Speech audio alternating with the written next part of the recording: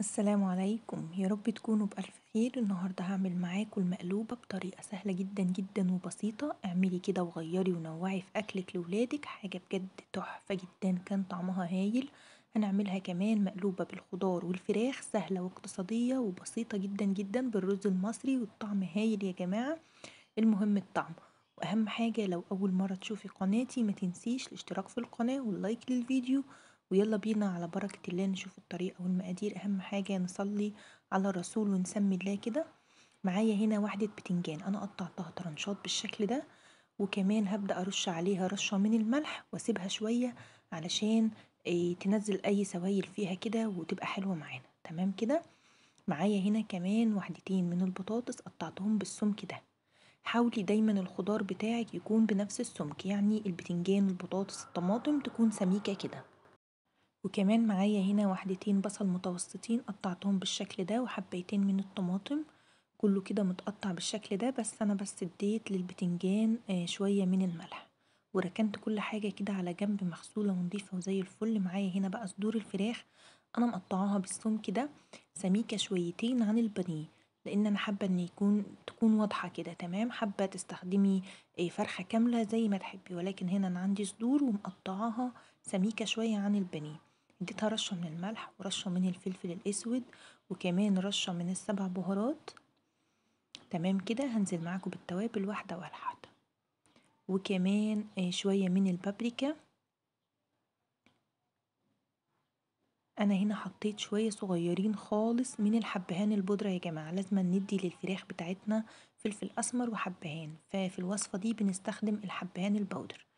هبدأ بقى كده أقلب كل التوابل كده وهي الفراخ علشان تكون متبلة ومتشربة من الملح وزي الفل. هسيبها كده على جنب ونبدأ بقى ياخد كل نوع من أنواع الخضار دي هقليها في الزيت. تمام كده؟ بس أهم حاجة نتبل الفراخ كده بدري ونسيبها شوية. الفراخ هي آخر حاجة أنا هحمرها أو هشوحها على النار. أنا مش هقلي مش هسوي الحاجة تسوية كاملة أنا بس هديها لون بسيط كده علشان يكون شكلها حلو وهي المقلوبة.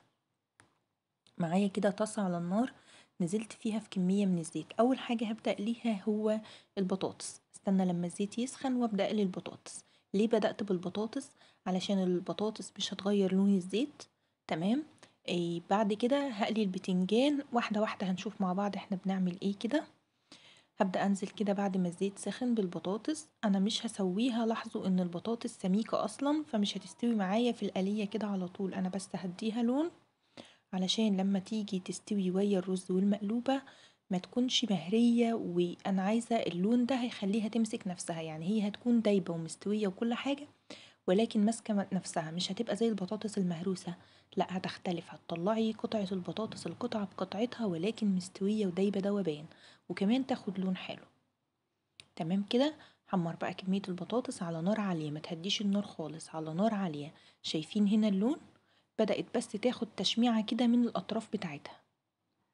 هو ده اللون المطلوب. أنا مش هخلي البطاطس تاخد لون غامق قوي. أنا عايزة يبقى شكلها حلو. كمان لسه هتتشرب من التتبيلة. ان إحنا هنضيفها للرز وتاخد لون تحفة جدا من الكركم اللي إحنا هنضيفه للمقلوبة. فشايفين هنا اللون. هو ده اللون المطلوب. تمام كده؟ كل ده على نار عالية يا جماعة مش هنهدي النار خالص مش عايزين نسوي الحاجة قوي أنا بس عايزاها تكون ماسكة نفسها واخدة لون حلو. تمام؟ شلت كل كمية البطاطس بعد ما حمرتها على طول بعد البطاطس هبدأ أنزل بالبتنجان. أنا هنا مقطعة البتنجان حلقات لو انتي حابة تقطعيه بالشكل الطولي زي ما تحبي. تمام كده؟ نزلنا كده بالبتنجان في الزيت السخن زي ما اتفقنا إحنا بندي للحاجة لون مش تسوية كاملة. تاخد لون كده ونبدأ نشيل البتنجان بتاعنا. وطبعا لما بعمل الكمية دي ولو فايض معايا بتنجان تاني وكده بقليه إيه بعد البتنجان ده على طول. ده اللون حلو جدا كده بالنسبة لي. لو فاتحة شوية خصوصا البتنجان لو لونه فاتح شوية هستنى لما اللون بتاعه يجي زي اللون المطلوب اللي أنا عايزاه يكون إيه مدي على اللون الذهبي كده تمام؟ خلصنا بقى البتنجان. في نفس الطاسة كل ده يعني مش هنستهلك حاجات كتير هبدأ أنزل بقى بالفراخ. هديها صدمة وكمان هخليها تاخد لون. شايفين بقى التتبيلة بتاعت الفراخ عاملة إزاي؟ متشربة كده كلها من التوابل. تحفة. حبهان بودر وبابريكا وفلفل أسمر وسبع بهارات والملح بتاعها. هايل جدا. لو انت حابة تضيفي للفراخ الكركم وكاري من دلوقتي في التتبيلة الأولانية براحتك ولكن أنا هضيفهم. ويا الرز. فبعد كده الفراخ هتتشرب نفس اللون ونفس الطعم مع الرز والتسوية واحدة. حلو قوي كده لون الفراخ كده. تمام؟ شايفين؟ هايل جدا جدا. خلصت قليت كل كمية الفراخ صدور الفراخ اللي معايا. شلت طبعا جزء وحطيت الكمية التانية. على فكرة ممكن تستخدمي بانيه عادي جدا مش شرط صدور وتكوني مقطعاها بالشكل ده. ممكن تستخدمي صدور فراخ كاملة ممكن تستخدمي صدور وراك ممكن تستخدمي فرخة انتي قطعاها على نصين براحتك خالص. بعد ما شوحنا الفراخ هبدأ أنزل بقى بالبصل أديله تتبيل هدبله بس أنا عايزاه يدبل عشان ما يكونش بيقرش وكده أنا عايزه البصل يكون دبلان معايا. إيه دلوقتي بقى نزلته بعد الفراخ. عايزة أقول لكم إن ريحة تتبيل البصل بعد الفراخ هايلة هايلة بجد هايلة. هنزل بس على البصل كده بشوية من الفلفل الأسمر وشوية من الملح علشان أنا عايزاه ياخد طعم حلو. وكمان الملح ينزل كل السوائل اللي فيه ويدبل معايا بسرعة. تقلبتين كده على نار عالية قلب فيه دايما. هيدبل معايا ويبقى زي الفل. هسيبه بقى وأبدأ أروح على الرز بتاعي. معايا هنا كوبايتين من الرز المصري المغسول كويس جدا مرتين تلاتة تحت المية وأصفيه كويس قوي. نزلت عليه هنا بمعلقة كبيرة من الدبس الرمان آه وبعد كده هبدأ أنزل بالملح. تمام. طبعا الملح حسب الرغبة زي ما بتحبي. ومعايا هنا نص معلقة صغيرة من الفلفل الأسمر. نراعي إن إحنا متبلين كل حاجة قبل كده. وحطيت هنا معلقة ونص صغيرين من الكركم. تمام؟ وكمان شوية صغيرين من الكاري. بيدي طعم حلو جدا وهي لون الكركم. وحطيت هنا شوية من الكوبيبة الصيني. حط معلقتين كمان من الزيت. هايل جدا زي الفل كده أبدأ أقلب كل المكونات بتاعتي دي علشان أبهر الرز وأملحه ويتشرب كده من دبس الرمان بتاعنا. عايزه أقولك لو عندك صويا صوص وحابه إن انت تحطي منه ماشي. شوية كده صغيرين من صوص الباربيكيو بيبقى هايل. بس أهم حاجة نحط حاجة من أنواع الصوصات دي بتبقى حلوة جدا. أنا هنا مستخدمه زي ما اتفقنا دبس الرمان. تمام؟ هقلب بقى كل المكونات كده مع بعضها. الزيت بقى والملح والتوابل والرز بتاعي ياخد لون واحد كله من الكركم والكاري والتوابل اللي إحنا ضفناها هايل جدا بالشكل ده. وكمان يتشرب من الملح وكل حاجة تتوزع مع بعضها. شايفين بقى الرز متغلف بالتوابل والزيت. نبدأ بقى نجيب الحاجة اللي إحنا هنسوي فيها المقلوبة. أي نوع حلل متوفر عندك ألمونيوم طاجن إيه تيفال أي حاجة. سيراميك. أي نوع انت تحبي إن انت تطبخي فيه؟ الأكل بتاعك ده؟